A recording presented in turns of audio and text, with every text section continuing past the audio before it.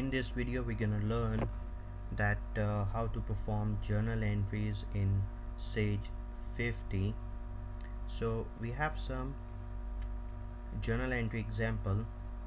So the first one is that uh, Mr. John invested AED 200,000 as a capital.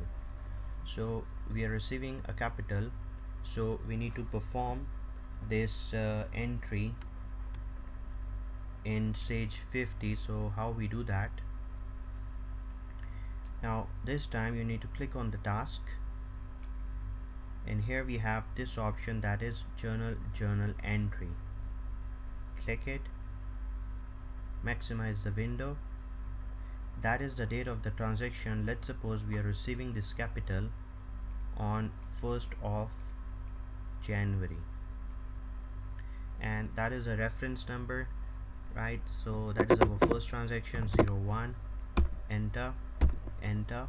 And here you need to select the GL account. So let's suppose we are receiving this capital in our bank account. So that is Dubai Islamic Bank. And here you can mention the description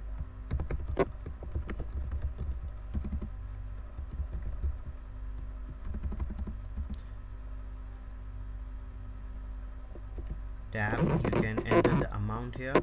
So the amount is 200,000 you can press enter enter enter. So here you can enter the credit side. So credit is the capital 301 automatically that description is copied. You can press tab or you can press enter. Enter you need to enter the credit amount. That is 200,000 enter enter. That is how you will perform a journal entry. You can record a journal entry in Sage 50 and then save it. Now if I try to save it it will give us an error message right? Why? Because look the debit side and the credit side is not equal this is 20,000 and that is 200,000 so it is out of balance. So you cannot save it. So make this amount 200,000 enter. And now it is out of balance. Alt s to save or you can click this save icon to save it. So this entry is safe and the next reference number is generated. So our next transaction is that cash deposit in Noor Islamic Bank.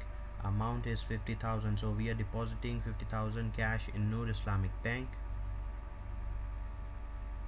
So here you need to select the GL account that is Noor Islamic Bank. Mention the description. In Noor Islamic Bank. Enter.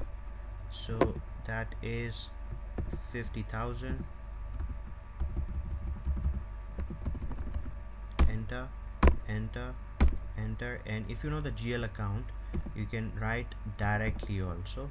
Enter enter enter and save it. Right? The short key is alt s or you can click this save icon to save. Yes. So this is how you can perform the transaction the journal entries in Sage 50 and if you want to check uh, the report of your uh, the journal entries you can click here. You can check it the reports from here that general journal. Your all the debits and credits will appear here. But if you want to check it if you cancel it you can also check the reports from this reports in form. And here we have this option general ledgers. Click it. And here we have this option that is general journal double click. Okay and because we enter on uh, 1st of January so you can click on this option and you can filter your report. You can check the report. You can uh, filter your report. If you want to check all dates this period for today or this year how many transaction you enter or for this quarter or for this period you can sort it. So I'm gonna select right now all or you can change it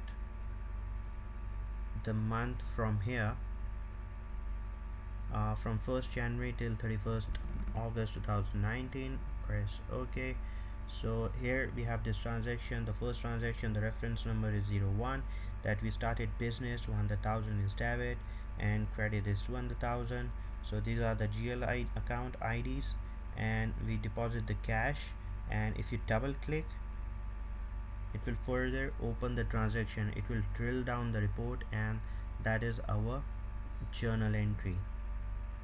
So that is how you perform a journal entry in Sage 50 accounting.